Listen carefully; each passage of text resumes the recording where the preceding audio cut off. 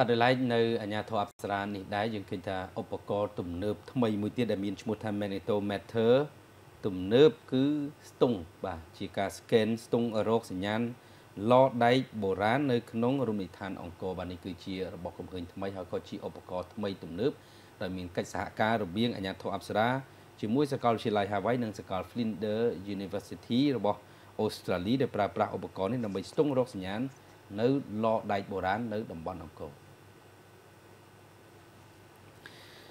បាទគោកអាចដែកឬក៏គោកដើមថ្នោតស្ថិតនៅនឹងក្បែរភ្នំបូកស្ថិតនៅក្នុងភូមិស្រែចង្កូតស្រែចង្ហូតឃុំរុនតាឯកសុកមន្ទីរស្រីខេត្តសៀមរាបត្រូវបានក្រុមការងារបច្ចេកទេសនៃអាជ្ញាធរជាតិអប្សរា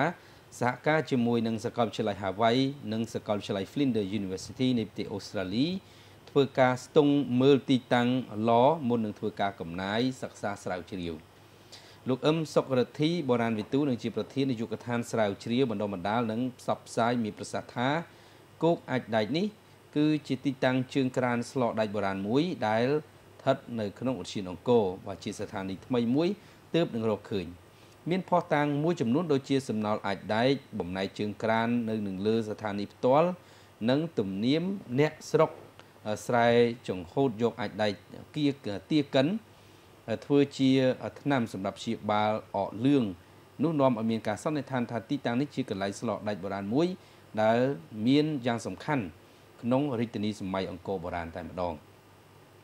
លោកបានបន្តទៀតថាកន្លងមកអ្នកស្រាវជ្រាវបានរកឃើញស្ថានីយ៍ជើងក្រានស្លដែកបុរាណនៅឆ្ងាយពីរាជធានីអង្គរភាគខាងកើតដូចជាស្ថានីយ៍ស្លដែកនៅភ្នំដែកខេត្តព្រះវិហារស្ថានីយ៍ស្លដែកនៅតំបន់ខ្វាវនៅក្នុងស្រុកជីក្រែង ភូមិថ្មគោនិងស្រុកអង្គរជុំប៉ុន្តែពេលនេះគេបានសិក្សាស្រាវជ្រាវរកឃើញស្ថានីយ៍ស្លដែកនៅឧទ្យានអង្គរតែម្ដងឧស្សាហកម្មស្លដែកពីសម័យបុរាណមានសារៈសំខាន់ណាស់នៅក្នុងការផ្គត់ផ្គង់តម្រូវការលោហៈសម្រាប់ផលិតជាសម្ភារៈប្រើប្រាស់ក្នុងផ្ទះសម្ភារៈកសិកម្មអាវុធយុទ្ធភ័ណ្ឌនិងសម្ភារៈប្រើប្រាស់ផ្សេងផ្សេងទៀតសម្រាប់ប្រជាជនប្រហែល80ម៉ឺននាក់នៅក្នុងរាជធានីអង្គរនាសម័យបុរាណ 80ម៉ឺននាក់មិនតិចទេកាលនោះសម័យបុរាណហើយមានមនុស្សដល់80ម៉ឺននាក់ណាបាទស្មើក្រុងដ៏ធំមួយបាទគូបញ្ជាក់ដែរថានៅក្នុងឧទ្យានអង្គរគេបានរកឃើញស្ថានីយ៍ស្លដៃចំនួន3កន្លែងហើយស្ថានីយ៍ទី1គឺនៅក្បែរសាលាក្រវ៉ាន់ខាងជើងភ្នំបូកក្នុងភូមិរំជែកស្ថានីយ៍ទី2នៅភូមិគោកអាចដែកក្បែរនឹងភ្នំបូកស្ថិតនៅក្នុងភូមិស្រែចង្ហូតទី3ស្ថានីយ៍ត្រពាំងឫស្សីខាងត្បូងភ្នំបូកតាមបណ្ដោយផ្លូវជាតិលេខ67 គេសង្ឃឹមថាទីតាំងមួយនេះនឹងក្លាយទៅជាទីតាំងប្រវត្តិសាស្ត្រថ្មីមួយទៀត